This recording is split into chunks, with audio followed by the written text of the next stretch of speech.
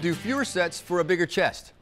In a new study, men who did fewer sets of bench presses with longer rest periods in between gained nearly twice as much strength as men who did more sets with shorter rest periods. One group did four sets of six repetitions with 65 seconds of rest between sets. The other group, eight sets of three reps with 14 seconds rest between sets. Fewer sets and longer rest periods produced superior strength gains.